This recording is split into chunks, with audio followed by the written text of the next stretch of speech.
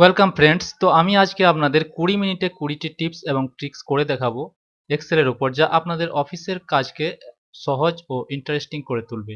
যদি ভিডিওটি ভালো লেগে থাকে, তাহলে আমার চ্যানেলটিকে সাবস্ক্রাইব ও ভিডিওকে শেয়ার করতে ভুলবেন না। তো চলুন, দেরি না করে স্টার্ট করি। সর্বপ্রথম আমরা দেখব রকে কীভাবে ফ্রিজ করতে হবে। কারণ আমরা দেখুন serial number name mobile number date of birth এখানে একটা ডাটা আমরা এন্ট্রি করে রেখেছি। তো এই ডাটা যখন আমরা নিচে এন্ট্রি করতে যাব, তখন কিন্তু উপরে এটাতে কি আছে আমরা এটা বুঝতে পারি না। সেক্ষেত্রে আমরা কি করব? এটাকে ফ্রিজ করে দেবো। ফ্রিজ করার জন্য আমরা কি করব? সর্বপ্রথম সিলেক্ট করব আমরা। সিলেক্ট করার পর কন্ট্রোল টি প্রেস করব কিবোর্ডে কন্ট্রোল টি প্রেস করার পর ওকে প্রেস করব। ওকে প্রেস করলেই দেখুন serial number name mobile number এগুলো আপনার উপরেই থেকে যাচ্ছে। আপনি যখন নিচে ডাটা এন্ট্রি করবেন, তখন কিন্তু আপনি বুঝতে পারবেন এই সেলটাতে আমাকে কি লিখতে হবে। আমরা দ্বিতীয় নাম্বার যেটা দেখব, সেটা হচ্ছে যে অনেক সময় আমাদের দরকার হয় শুধুমাত্র কয়েকটা সিলেক্টেড ডাটাকে প্রিন্ট করার। কিন্তু আমরা যদি এখন প্রিন্ট দিই, তো এখানে যতগুলো ডাটা টাইপ আছে সবই কিন্তু প্রিন্ট নিয়ে নেবে। তো আমরা কি করব? সর্বপ্রথম সিলেক্ট করব ডাটা আমাদের যতটা দরকার প্রিন্ট করার জন্য। সিলেক্ট করার পর পেজ লেআউটে গিয়ে print area set print area করে দিলাম। এবার আমরা যখন এটাকে প্রিন্ট করব, তখন দেখুন শুধুমাত্র আমরা যতটা সিলেক্ট করে রেখেছিলাম, ততটাই কিন্তু এখানে দেখাচ্ছে। এবার তিন নম্বরে আমরা যেটা দেখব, সেটা হচ্ছে, দেখুন এখানে আমি serial number student name course এবং এখানে আমি যখন মাউসটা নিয়ে আসছি, তখন কিন্তু এখানে স্টুডেন্টের ফটো দেখাচ্ছে। এটা আমরা কীভাবে সেট করব? এটা সেট করার জন্য সেলটা সিলেক্ট করার পর আমরা চলে যাব review menu review menu add comment add comment করার পর এখানে সিম্পলি আপনি এটাকে কেটে দিন। কেটে দেওয়ার পর এটা একবার ক্লিক করার পর রাইট মাউস ক্লিক করে ফরম্যাট কমেন্ট ফরম্যাট কমেন্টে যাওয়ার পর colours and line colours and লাইনে আসার পর ফিল ইফেক্ট ফিল ইফেক্টে আসার পর picture select picture select picture করার পর এখানে ওয়ার্ক অফলাইনে যাব আমরা। এখানে যে আপনার যেখানে পিকচারগুলো আছে স্টুডেন্টের ফটো সেই ফটোগুলো আমি সিলেক্ট করার পর ইনসার্ট করে নেব। ইনসার্ট করার পর ওকে করে দেব। ওকে করলেই কিন্তু ফটোটা ইনসার্ট হয়ে যাবে। দেখুন, এটাকে আমি এক সাইজ করে নিই, যেমন দরকার। এখানে নিয়ে এলেই ফটোটা দেখাবে। রিমুভ ডুপ্লিকেটস এখানে আমি একটা ডাটা টাইপ করে রেখেছি, যার মধ্যে অনেক ডুপ্লিকেট আছে, যেমন এটা তিনশো আছে তিনশো আছে। তো এই ডুপ্লিকেটগুলো যদি আমি ম্যানুয়ালি বের করতে যাই, ভুল হতে পারে বা অনেক টাইম লাগবে। সেক্ষেত্রে আমরা কি করব?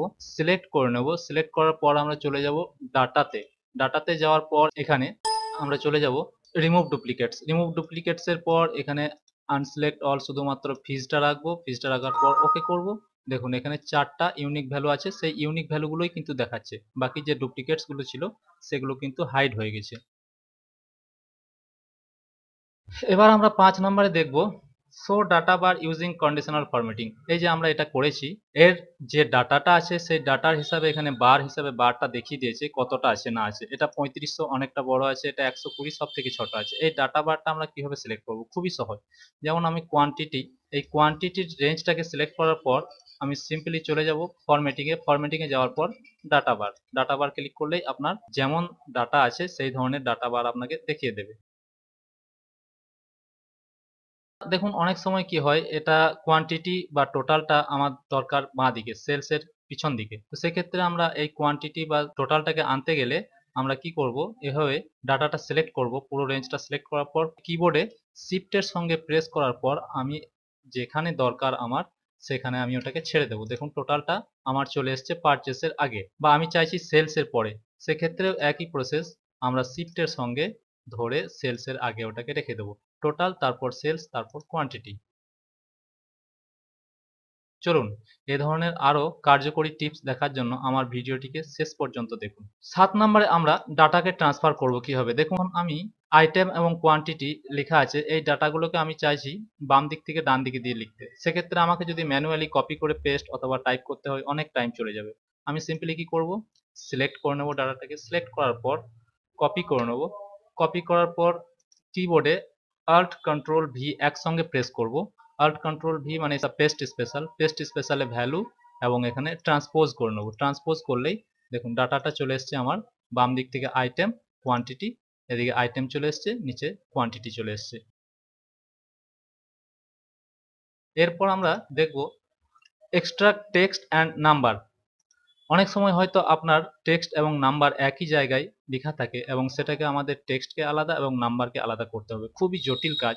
আমরা যদি এটাকে করতে যাই, সাধারণত টাইপ করে করে প্রথমে সেভেন থ্রি তারপরে ওয়ান টু তারপরে ওয়ান ফোর এভাবে টাইপ করব। তারপরে এদিকে টেক্সট টাইপ করব। অনেক টাইম লেগে যাবে। আমি আপনাদেরকে একটা সিম্পলি প্রসেস দেখিয়ে দিচ্ছি, যেটা খুবই সহজ হবে। নাম্বারের জায়গায় আমি সর্বপ্রথম নাম্বার টাইপ করে নিলাম। তারপরে এএসডি ওপি তারপর এইচ এখানে আমি প্রেস করব কন্ট্রোল ই দেখুন, নাম্বারগুলো চলে এসছে। এখানে আমি কন্ট্রোল ই প্রেস করব। আমার টেক্সটগুলো চলে এসছে। এক্সট্রাক্ট হয়ে গেছে। এবার আমরা শিখব পার্সেন্টেজ কীভাবে ক্যালকুলেট করতে হয়? পার্সেন্টেজ ক্যালকুলেশন করার খুবই সহজ পদ্ধতি আছে। আমি এখানে ফাইভ পার্সেন্ট বের করব, এই বাহান্ন হাজার তিনশো টাকা টোটাল বের করেছি।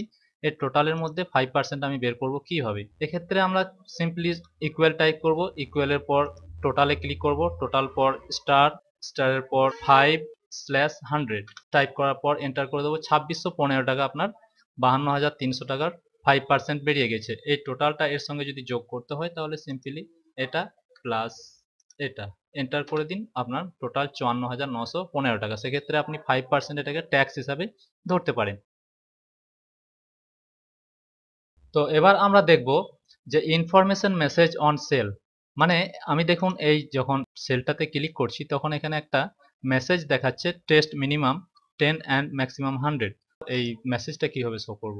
তো কিছু নয়, এটা করার জন্য ডাটাতে গিয়ে ডাটা ভ্যালিডেশনে গিয়ে সেটিংয়ে দেখবেন অ্যানি ভ্যালু এটা ঠিকই আছে। আপনার ইনপুট মেসেজে গিয়ে নিচে লিখবেন যেটা আপনি দেখাতে চাচ্ছেন। টেস্ট মেসেজ টেস্ট মেসেজ আমি টাইপ করার পর ওকে করে দিলাম। দেখুন, এই সেলটাই যদি আমি রাখি, তখন কিন্তু যেটা আমি লিখেছিলাম ওটা এখানে দেখাবে।